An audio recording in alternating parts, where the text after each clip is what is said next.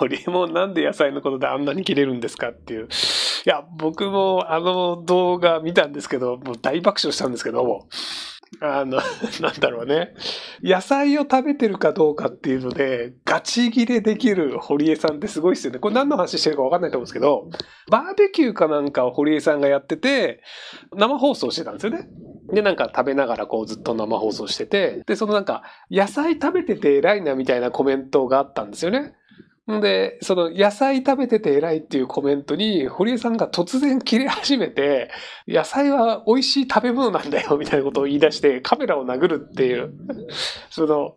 いや、僕が今言っても何言ってるかわかんないと思うんですよ。映像を見てもらえればわかるんですけど、僕が言った通りのことしてます。はい。ちゃんと野菜取ってる偉いっていうのがバカ。お前ら。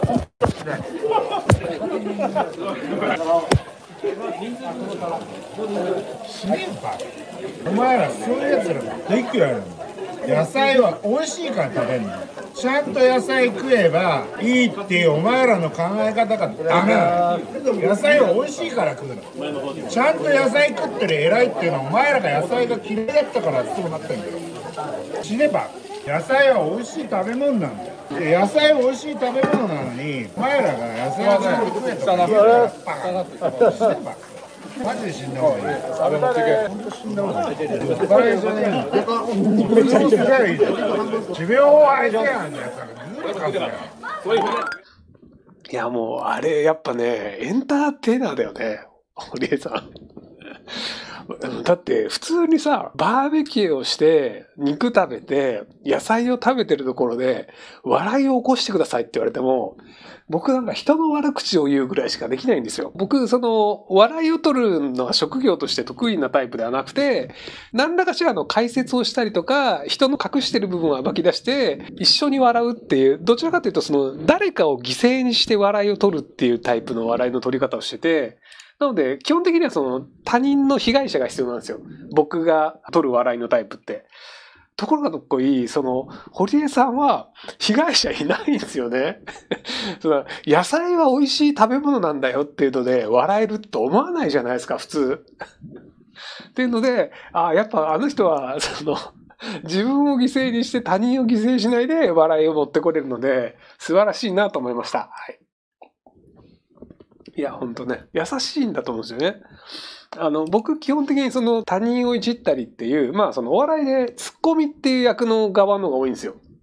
なので、誰かがこの人常識って外れてるよねっていうのを分かりやすくして、で、その常識人の人たちがゲラゲラ笑うっていう、そういう構図が僕割と得意なんで、だって野菜は美味しいから食べるんだよっていうセリフで、笑いにするってかなり高度なテクニックだと思うんですよ。多分、小学校とかで学校の先生が教えてると思うんですよね。野菜は美味しい食べ物ですよっていう。でも、それで笑いは起きないじゃないですか。そのすごくありきたりなセリフで笑いを起こす、その能力値たるや。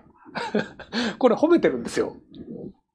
だってさ、カメラ殴ったらさ、なんかずれて直すのめんどくさいじゃん。だから、なんだろうね。ほんとすいません。いや、だからその、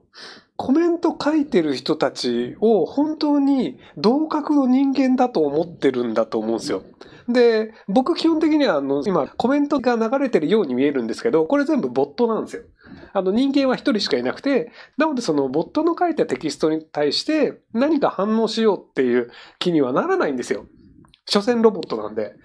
でも多分堀江さんは相手がちゃんと人間で、その思いがあって、こういう考えがあって書いてるんだろうみたいなので、その対等な位置に立てるから自分の感情が揺さぶられるんだと思うんですよね。なのでね、あの、本当コメントで怒れる人ってすごいなと思いました。